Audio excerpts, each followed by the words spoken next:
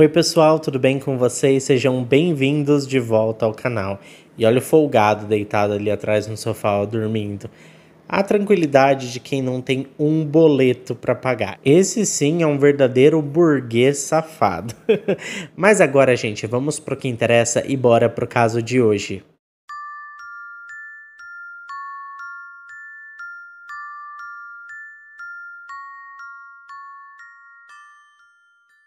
Hoje nós vamos falar sobre o curioso caso da Kimberly McRae. Não há muitas informações disponíveis sobre a sua infância e adolescência. O que se sabe é que ela nasceu na Austrália no início da década de 1950. E ao chegar ao mundo, ela não veio sozinha e nem como mulher. A sua mãe teve uma gestação de gêmeos que foram uma menina chamada Karen e um menino cujo nome nunca foi revelado. Com o passar dos anos, ela se tornou Kimberly e sabe-se também que os gêmeos cresceram em Sydney, a capital de New South Wales e uma das maiores e mais importantes cidades da Austrália. Bom, gente, o fato é que a Kimberly assumiu sua nova identidade feminina e passou por várias cirurgias que ajudaram a alinhar a sua imagem com a percepção que ela tinha de si mesma. Por fim, gente, a Kimberly finalmente alcançou o visual que desejava e se tornou uma loira deslumbrante que mexia com o coração dos rapazes da cidade. Ser uma mulher trans trouxe inúmeros desafios que a Kimberly teve que enfrentar com bastante disposição ao longo de toda a sua vida. Hoje em dia, mulheres trans são muito mais acolhidas e respeitadas pela sociedade australiana, inclusive com diversas proteções legais. Mas a Kimberly sofreu bastante nos anos 80 e 90, porque uma pessoa como ela não era bem vista pela sociedade e frequentemente perdia oportunidades de trabalho justamente por conta de preconceitos. Com isso, embora fosse uma pessoa erudita, apaixonada por música clássica, literatura, mitologia, poesia e história da arte, a Kimberly se viu forçada a ganhar a vida como trabalhadora da diversão adulta. No entanto, ela não levava uma vida muito agitada, preferindo a calmaria e silêncio dos livros, ao invés das baladas barulhentas e bebedeiras descontroladas. Na verdade, gente, a Kimberly não bebia álcool, não fumava, não usava ilícitos, era budista e vegana, além de fazer alguns trabalhos voluntários em instituições que aceitavam recebê-la. Ela também amava escrever e até participou de um programa de escrita criativa nos anos 2000. E foi em meio a essa paixão pela escrita que a Kimberly, sob o pseudônimo de Isabel Lawson, publicou em 2018 um livro intitulado Hey Boys, She's Got a Gash and Other Tales of God.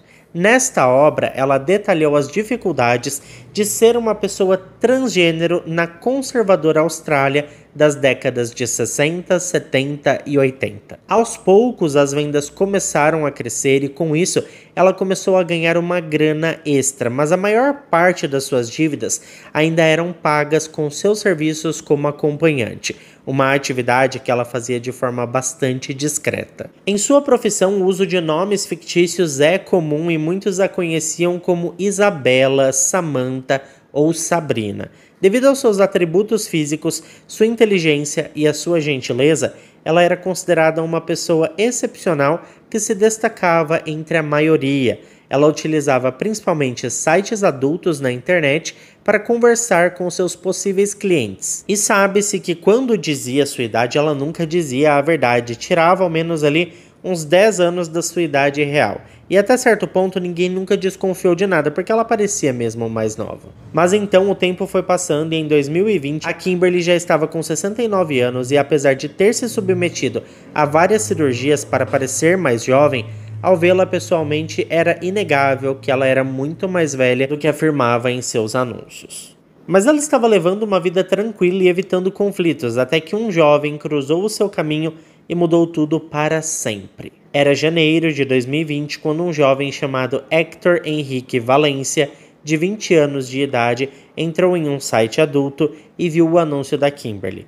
O homem, nascido na Colômbia em 1999, havia completado com sucesso as etapas básicas da sua educação e chegou à Austrália em maio de 2019 graças a um visto de estudante. Imediatamente ele se matriculou em uma escola para não ter problemas com as autoridades migratórias e durante a sua estadia na Austrália, o Hector alugou um quarto em uma casa na cidade de Matraville e começou a trabalhar em um café para manter as suas finanças em ordem. Bom, agora que já entendemos quem era o rapaz, nós vamos voltar lá para o dia 8 de janeiro de 2020. O jovem viu o anúncio da Kimberly e ficou animado com a ideia de ter uma experiência íntima com uma mulher que supostamente era o dobro da sua idade e decidiu entrar em contato com ela.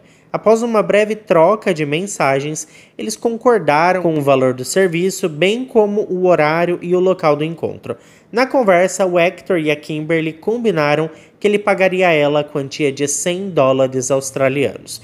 Ela também enviou uma fotografia para o jovem e, após isso, ele respondeu que iria até seu apartamento. De acordo com o que se sabe da investigação, a última chamada que saiu do telefone da Kimberly foi às 3 horas e 35 minutos da tarde e foi para o telefone do Hector. Assim que o jovem chegou ao local, não foi recebido na porta por ninguém. A Kimberly estava em outra parte da casa e gritou para ele entrar ir até o quarto, despir-se e esperar por ela. Ela então entrou no quarto após alguns minutos com uma luz muito fraca e os dois começaram ali, né, o rally rola. E foi após alguns segundos que o Hector percebeu que algo lhe parecia uma característica masculina e perguntou sobre isso mas a mulher estava supostamente meio ocupada e acabou não respondendo.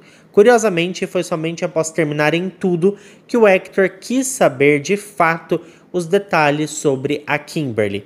E ao receber a confirmação de que sim, de que ela era uma pessoa transexual, ele ficou muito, muito irritado e um confronto começou entre eles. O Hector relatou muito tempo depois aos policiais que a atingiu duas vezes, uma no estômago e outra no rosto, ao que ela se defendeu batendo nele com uma lâmpada preta que tinha na mesa de cabeceira. Por conta disso, os dois caíram no chão e no meio ali da briga foi então que o Hector colocou o cabo da lâmpada, né, o cabo ali de força da lâmpada, em volta do pescoço da Kimberly. E quando ela parou de respirar, ele a soltou, ciente de que havia cometido um crime gravíssimo. Ele tinha acabado, né, de tirar a vida dela.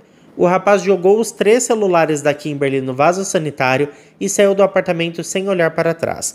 Contudo, uma câmera de segurança o registrou saindo do local às 16 horas e 15 minutos, cerca de 40 minutos após o último contato telefônico registrado entre os dois. Para não levantar suspeitas, ele decidiu ir à instituição onde estudava e manter a sua rotina, como se fosse um dia como qualquer outro. No dia seguinte, o jovem vendeu sua scooter através do Facebook por 2 mil dólares e ainda pediu a um amigo mais mil dólares emprestados, com a promessa de que devolveria tudo em poucos dias. A intenção do rapaz era fugir para sua terra natal, a Colômbia.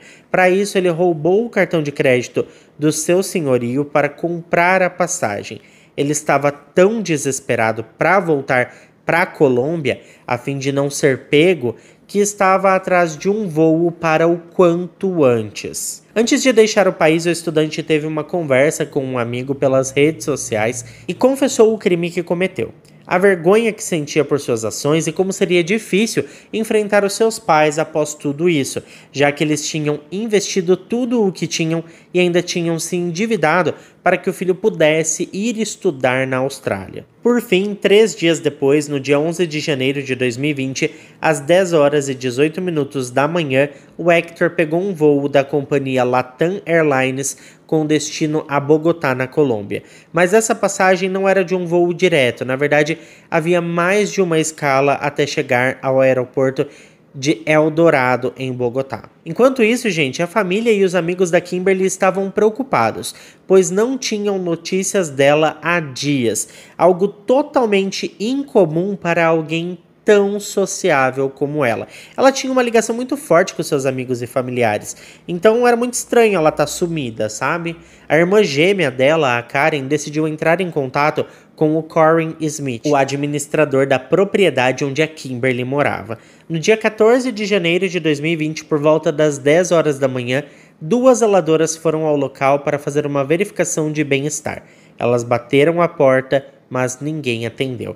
Perceberam então que a porta de entrada estava destrancada e decidiram entrar. Quase imediatamente, o serviço de emergência de Sydney recebeu uma ligação de uma mulher em total desespero. A mulher relatou que havia entrado no apartamento de uma moradora que não dava notícias há alguns dias. Ao entrar, encontrou um cobertor cobrindo um volume. A parte de baixo do cobertor estava visivelmente ligada ao pé de uma pessoa. O atendente dos serviços de emergência perguntou se ela poderia voltar para casa e verificar se havia alguém sob o cobertor e se precisava mesmo de ajuda. A mulher, no entanto, disse que era impossível retornar, afirmando que um odor nauseante emanava do ambiente parecendo algo em estado de decomposição. Por essa razão, os serviços de emergência de Sydney enviaram rapidamente várias, várias, várias ambulâncias e policiais ao local. Quando os agentes chegaram, eles fizeram uma descoberta terrível. Era de fato o corpo de uma pessoa, identificada como Kimberly McRae, de 69 anos de idade. Ela estava vestindo meias e uma blusa cinza de mangas longas, que havia sido puxada para baixo expondo os seus seios. Logo após a descoberta, o detetive Danny Doherty realizou uma coletiva de imprensa onde explicou que a polícia estava considerando as atividades de trabalho da Kimberly como uma linha de investigação para o crime. O detetive Danny se tornou o porta-voz oficial do caso e posteriormente falou sobre os resultados das primeiras investigações, afirmando que conseguiram confirmar que a Kimberly foi vista pela última vez na terça-feira, dia 7 de janeiro de 2020, na agência dos Correios, localizada nos subúrbios orientais de Sydney. Essa informação havia sido confirmada graças às câmeras de segurança que a capturaram entrando na loja às 16 horas e 46 minutos da tarde, e também a viram conversando com um funcionário dos Correios antes de sair. Por volta da mesma época, jornais começaram a publicar informações sobre o caso. À medida que o caso ganhava notoriedade, várias pessoas e também instituições apoiadoras da diversidade começaram a formular suas hipóteses. Eles acreditavam que a Kimberly havia sido morta por um crime de ódio e defendiam que as autoridades deveriam investigar a sua morte dessa maneira. As autoridades, por sua vez, realizaram um trabalho diligente para resolver o caso da Kimberly, formando uma unidade especial interconstitucional que contava com a colaboração de várias forças policiais para trabalhar com mais agilidade e obter os melhores resultados. Esse grupo especial começou a buscar vídeos de câmeras de segurança e obtiveram ordens judiciais para acessar as atividades da Kimberly em suas redes sociais e em seus celulares, além de receberem um laudo pericial. Após a análise, o relatório indicou que o falecimento havia sido causado por compressão no pescoço, resultado ali, né, de uma asfixia. Também foi revelado que a mulher havia sofrido uma fratura na cartilagem da tireoide. Ao periciar os eletrônicos da Kimberly, os oficiais rapidamente chegaram a um nome: Hector Henrique. Foi muito fácil localizá-lo, uma vez que, como sabemos, ele havia sido a última pessoa com quem a Kimberly se comunicou. Além disso, nas câmeras de segurança que estavam do lado de fora da casa onde a mulher morava, ele foi visto saindo de lá. Em poucas horas, poucas horas mesmo de buscas, os oficiais perceberam que a última pessoa a ver a Kimberly com vida tinha deixado o país.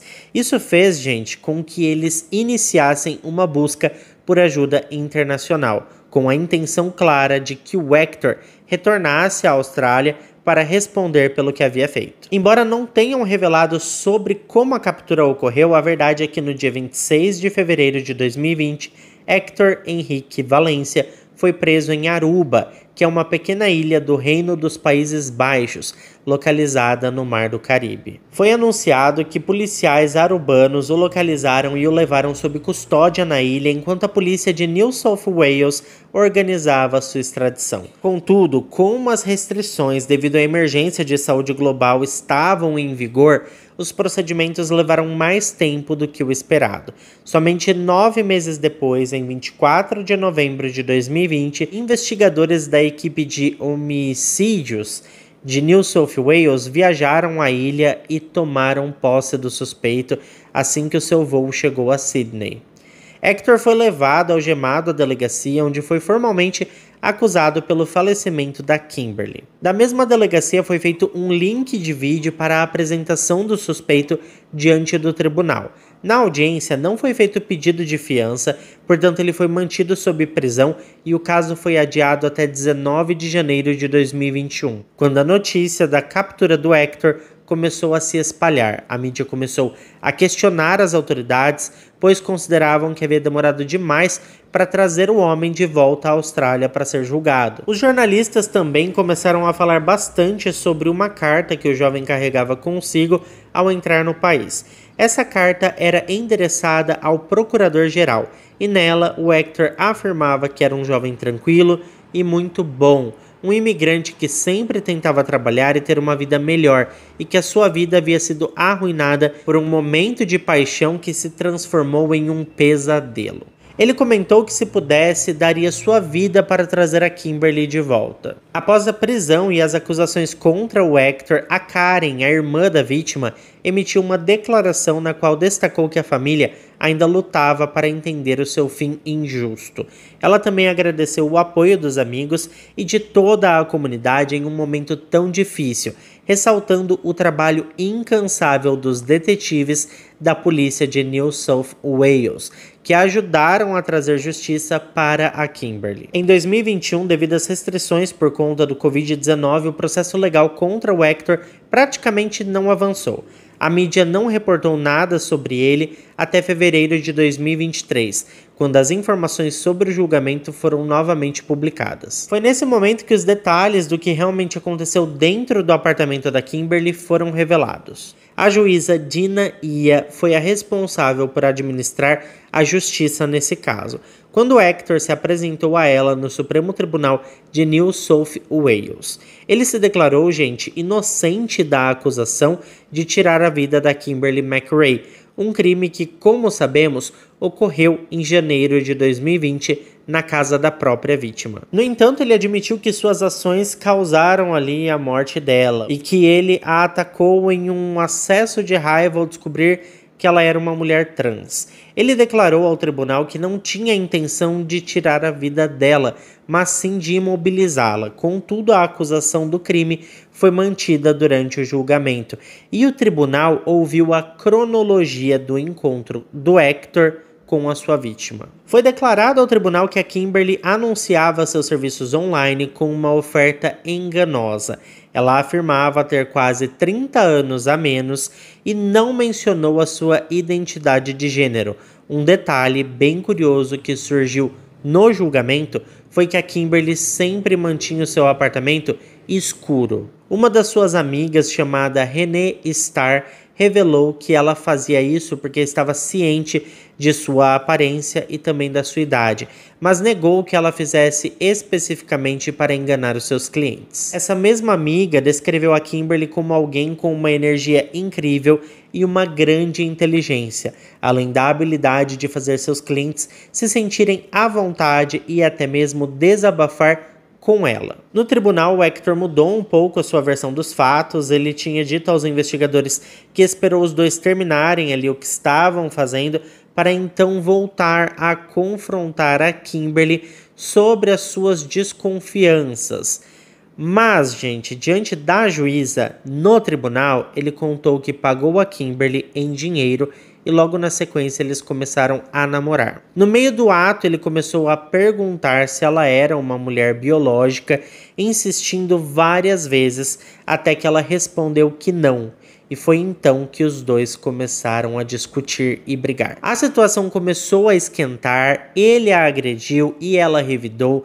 Ele contou ainda que só pegou o fio da lâmpada porque tinha medo de que a Kimberly tentasse tirar a sua vida. Para fechar com chave de ouro toda a estratégia assim que a defesa tinha montado, o homem também expressou uma tristeza ao saber que ela era uma pessoa trans, porque ter relações íntimas com essas pessoas ia contra as suas crenças religiosas e que Deus jamais aprovaria isso. A verdade é que a defesa estava mirando na alegação do famoso pânico gay. E por isso precisavam mudar aquela declaração inicial que ele tinha dado, justamente porque na primeira vez que falou com a polícia, ele disse que esperou os dois terminarem o que estavam fazendo e só então voltou a tocar nesse assunto.